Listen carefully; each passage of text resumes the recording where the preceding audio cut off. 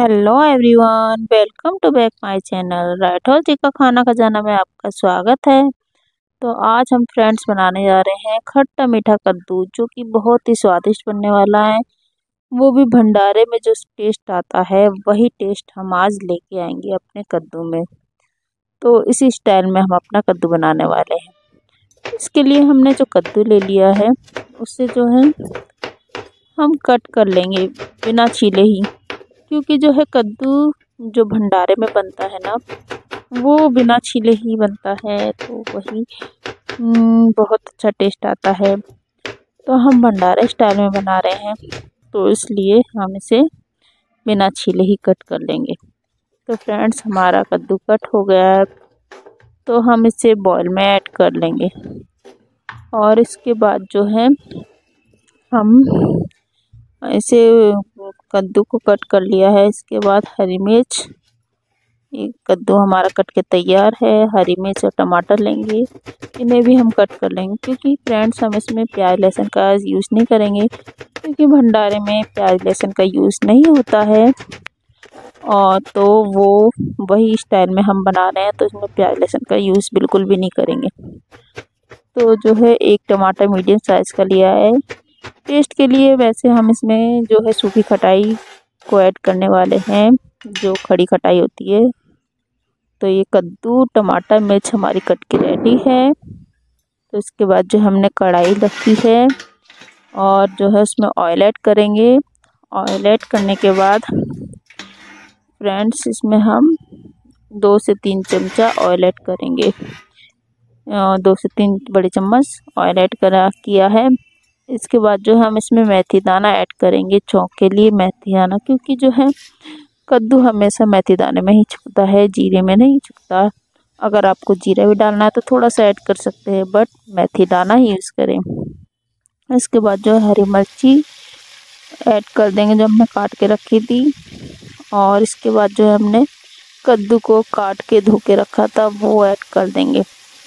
और हम इसे जो है पूरा कद्दू ऐड कर दिया है और इसे हम अच्छे से जो है फ्राई कर लेंगे।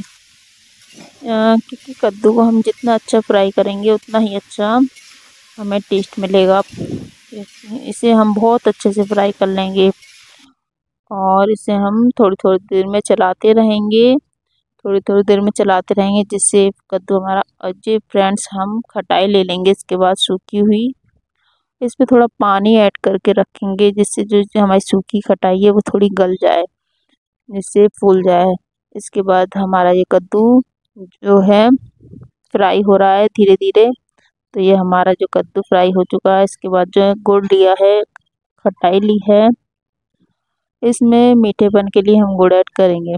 इसके बाद हम जो है कद्दू में मसाले ऐड करेंगे, दो चम्मच सूखा धनिया पाउडर एक से डेढ़ चम्मच, लाल मिर्ची पाउडर और आधा चम्मच फिर हल्दी पाउडर ऐड करेंगे।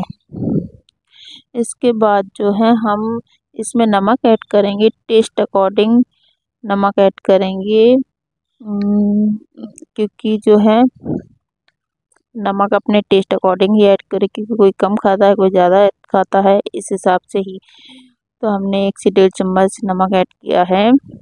आप अपने स्वाद अनुसार करें। इसके बाद हम इसमें जो है थोड़ा सा गरम मसाला ऐड करेंगे। जो कि हैंडमेड गरम मसाला है, बहुत ही बहुत ही अच्छा टेस्ट आता है इससे। और हम इसे जो है मिक्स कर देंगे अच्छे से। अपने पूरे मसाले फ्राई कर लेंगे, अच्छे से मिक्स कर लेंगे। इसके बाद हम इसे अच्छे से फ्राई करके मिक्स कर लेंगे। इसके बाद हम इसमें जो हमने टमाटर कट करके रखा था, वो ऐड कर देंगे, जिससे ये हमारे मसाले और टमाटर अच्छे से मिक्स कर लेंगे। और इसे अच्छे से मिक्स करने के बाद हम इसमें अपने मीठे के लिए गुड़ जो हमने रखा था, उसे ऐड करेंगे। और इसके बाद जो है, जो हमने खटाई अपनी भुगो कर रखी थी, उसे हमने खलबत्ते में कूट लिया है और इसे ऐड कर दिया। आप चाहे तो इसे मिक्सी में भी पीस कर ऐड कर सकते हैं। तो हमने खलबत्ते में ही कूट के ऐड किया है। इसके बाद थोड़ा सा पानी ऐड किया है, जिससे ये हमारे मसाले, गुड़ और जो है खटाई तीनों अच्छे से मिक्स हो जाएँ। इसे अच्छे से मिला लेंगे।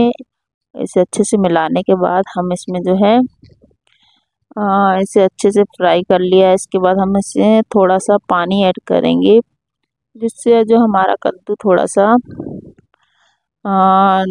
ग्रेवी टाइप में बन जाए थोड़ा सा पतले टाइप में बन जाए, क्योंकि ठीक नहीं है अच्छा लगता कद्दू कद्दू जो है थोड़ा सा रसीलेपन पर ही अच्छा लगता है। इसके लिए हमने थोड़ा सा पानी ऐड किया है, मिनिमम एक गिलास ऐड कर देंगे, फिर इसे अच्छे से बॉईल होने देंगे, इसे हम ढक कर बॉयल होने देंगे। फिर हमने ढक्कन निकाल दिया है इसे, फिर से दोबारा चलाएँगे। इसे हम अच्छे से बीच बीच में चला के देखते रहेंगे कि हमारी सब्ज़ी अच्छे से मिली है पकी है कि नहीं? और जो है हमारी सब्ज़ी को अच्छे से पकाएँगे। अच्छे से पकने के बाद हम इसमें, ये हमारी ऑलमोस्ट डन हो चुकी है हमारी सब्ज़ी तो इसके बाद हम इसमें कस्तूरी मेथी ऐड करेंगे। कस्तूरी मेथी को हम अच्छे से क्रश कर लेंगे और क्रश करने के बाद इसमें ऐड कर देंगे क्योंकि इससे बहुत अच्छा फ्लेवर आता है हमारी सब्ज़ी में। तो हमने इसे ऐड कर दिया है और इसे मिक्स कर लेंगे। इसके बाद जो है हम इसमें थोड़ा सा हींग ऐड करेंगे, जो हमने लास्ट में ऐड करेंगे, क्योंकि स्टार्टिंग में ऐड करने पर जो है इसमें अच्छा फ्लेवर नहीं आता, हींग की खुशबू उड़ जाती है, वो वो फ्लेवर नहीं मिलता हमें, वो खुशबू नहीं मिलती, इसके लिए हमने लास्ट में ऐड की है। और इसके बाद जो है हम अपने इसमें हल्का सा गरम मसाला ऐड करेंगे इससे फ्लेवर अच्छा आएगा, और हमारा जो है ये बाहर का गरम मसाले से जो फ्लेवर नहीं आता, वो और घर के गरम मसाले से फ्लेवर बहुत अच्छा आता है। और ये ऑलमोस्ट डन है। तो फ्रेंड्स आप ये भंडारे वाला खट्टा मीठा कद्दू बनाकर ट्राई करें और हमें कमेंट करके बताएँ कि आपको हमारा ये कद्दू पसंद आया कि नहीं। और इसे बच्चे भी उंगलियाँ चाट चाट कर खाएँगे। और जो है बहुत ही स्वादिष्ट बना है हमारा ये कद्दू। फ्रेंड्स आप भी ट्राई करें ट्राई करके हमें रिव्यू ज़रूर दें। Enjoy this recipe and thank you all और हमारे चैनल पे न्यू आए हैं तो हमारे चैनल को सब्सक्राइब करें बेल आइकन प्रेस करें। और हमारी वीडियो पसंद आए तो लाइक एंड शेयर ज़रूर करें।